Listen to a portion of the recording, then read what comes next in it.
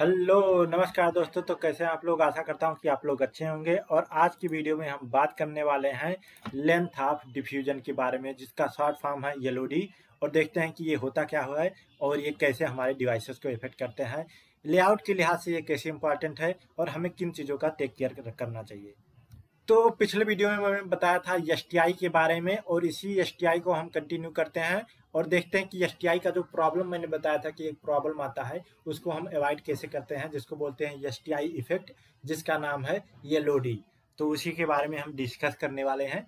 और एक बात और बता दूँ कि एस अगर आप लेआउट डिज़ाइनर हैं तो आपको एस देखने को नहीं मिलेगा। ये बाय डिफ़ॉल्ट मैन्युफैक्चरर द्वारा या फेब्रिकेटर कहें, उनके द्वारा डिसाइड होता है कि जहाँ भी उनको स्पेस दिखेगा ओडी और एडी के बीच में या फिर कोई डिसिमिलर डिवाइसेस है, उसके बीच में अगर कोई स्पेस है तो उसके हिसाब से वो लोग वहाँ पर इंसुलेटर बीच में प्लेस कर देते हैं और उसके बाद आपका डिवाइस एक दूसरे डिवाइस से आइसोलेट हो जाता है। लेआउट डिज़ाइनर है तो आपको ये देखने को मिलने वाला नहीं है, लेकिन कॉन्सेप्चुअली इसका यूटिलाइजेशन आपको करना है ताकि आप बेहतर से बेहतर लेआउट आप दे सके अपनी तरफ़ से। तो जो लेंथ ऑफ़ डिफ्यूजन होता है, वो हमारा पार्ट होता है एल का ही लेआउट डिपेंडेंट इफ़ेक्ट है। तो सपोज़ करिए कि हम एक शिप ले लेते हैं, और ये है हमारा डिफ्यूजन एरिया तो यहाँ पर आप देख रहे होंगे कि ये हमारा, मान लीजिए कि ये डिवाइस हो गया, और इस डिवाइस में ये हमारा गेट वन है, और ये है गेट टू मान लीजिए कि कोई सिमिलर डिवाइस ही रहा होगा, और उसको हम लोगों ने तोड़ दिया है और दो फिंगर में डिवाइड कर दिया है। तो ये दोनों फिंगर हो गए उसके। तो आपको पता होगा कि जो डिफ्यूजन एरिया होता है, डिफ्यूजन एरिया क्या होता है? वो एरिया जहाँ पर हमारा इम्प्लांट किया जाता है सोर्स और ड्रेन को, होता है। तो जैसे ये एरिया आपको दिख रहा होगा, इसमें ये सोर्स है, ये ड्रेन है, ये सोर्स अगेन है। तो ये पूरा का पूरा एरिया जो होगा, यही है हमारा डिफ्यूजन एरिया और यही कहलाता है डिफ्यूजन या इसी को ओडी बोलते हैं। लेकिन एक सिंगल डिवाइस की अगर हम बात करें तो क्या होता है उस केस में जो हमारा ये लेंथ होता है सोर्स का, वही लेंथ होता है ड्रेन का। तो length of source equal to length of drain लेकिन अब हम बात करें इस पूरे डिफ्यूजन एरिया की और इस गेट को अगर इंक्लूड करें तो गेट के लेफ़्ट साइड में देखेंगे कि ये हमारा लेंथ है। इसको नाम दे देते हैं यस ये। ये लेंथ है गेट के एक साइड का। गेट के दूसरे साइड का लेंथ अब हमारे पास इतना होगा। अब कुछ लोग कहेंगे कि इतना क्यों होगा? ये लेंथ इतना ही होना चाहिए। तो एक्चुअली होता क्या है कि आपका जो गेट होता है, वो गेट ऊपर रखा जाता है आपके सोर्स और ड्रेन की। तो बेसिकली सोर्स और ड्रेन आपके जो मैन्युफैक्चर किए जा रहे हैं, वो एक ही टाइम में सोर्स और ड्रेन बनाए जाएँगे, कुछ इस प्रकार से। तो ये हो जाता है, ये हो गया सोर्स एरिया ये हो गया ड्रेन एरिया ये हो गया सोर्स एरिया तो गेट डिपॉजिट किया जाता है कुछ इस प्रकार से ऊपर। डिफ्यूजन के। तो बेसिकली यहाँ अंदर अगर देखेंगे तो ये वाला एरिया एक ही टाइम पे और एक ही से कनेक्टेड है। यहाँ बगल में एस पिक्चर में आएगा। तो देखा जाए तो यहाँ से लेकर के और यहाँ तक पूरा रीजन एक ही बार में एक ही साथ सोर्स और ड्रेन बनाए गए हैं। लेकिन इम्प्लांटिंग नहीं की गई है। अभी इसमें कोई भी इम्प्लांटेशन नहीं किया गया है। जब आपका गेट डिपॉजिट कर दिया जाता है उसके बाद इसमें अब डोपिंग की जाती है। तो डोपिंग अगर की जाएगी तो सोर्स ऑफ़ ड्रेन और सोर्स इस रीजन में, इस रीजन को छोड़ करके बाकी सारे रीजन में आपका डोपिंग हो जाएगा, जो भी रिस्पेक्टिव डोपिंग होनी होगी। तो आपका सोर्स ड्रेन सोर्स ड्रेन बन गया यहाँ पर। इसके नीचे कोई डोपिंग नहीं हुई है, लेकिन ये कनेक्टेड है अभी। ये लेंथ तो कनेक्टेड ही है ना? तो अब जो स्ट्रेस आ रहा है सोर्स साइड केवल सोर्स पर ही आ रहा है, लेकिन ड्रेन साइड में स्ट्रेस अब नहीं आ रहा है, क्योंकि उस तर एस है ही नहीं। एस तो दूसरे वाले सोर्स पर एकदम राइट साइड में।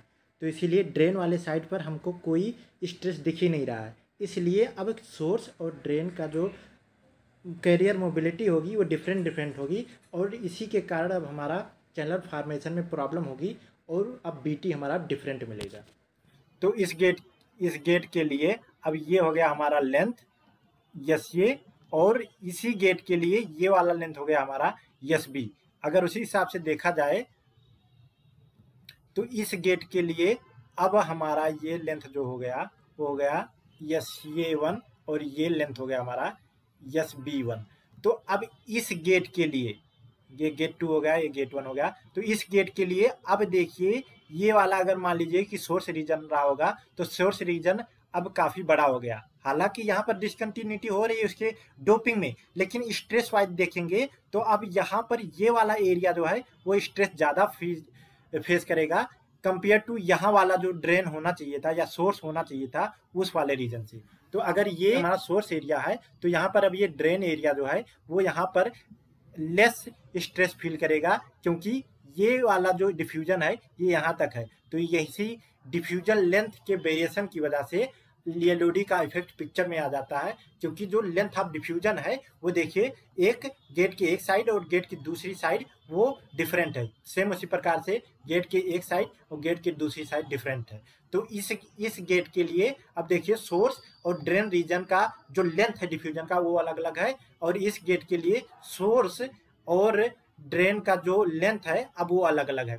तो यही लेंथ हमारा स्ट्रेस की वजह से मोबिलिटी पर इफ़ेक्ट पड़ता है। मोबिलिटी की वजह से हमारे इसके चैनल फॉर्मेशन पर इफ़ेक्ट पड़ता है। मीन्स बोले तो थ्रेस होल्ड वोल्टेज पर इफ़ेक्ट पड़ता है।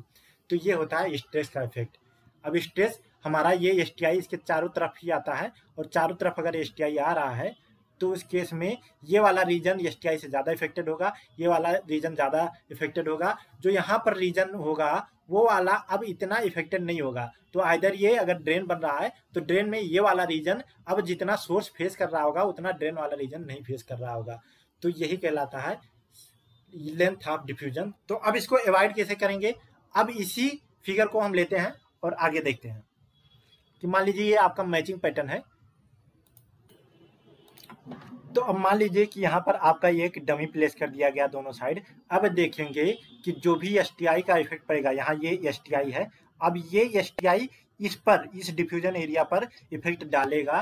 तो ये हमारा एक्टिव डिवाइस तो है नहीं। तो अगर बीटी पर वेरिएशन आ भी जाता है तो हमको घंटा फ़र्क नहीं पड़ता है।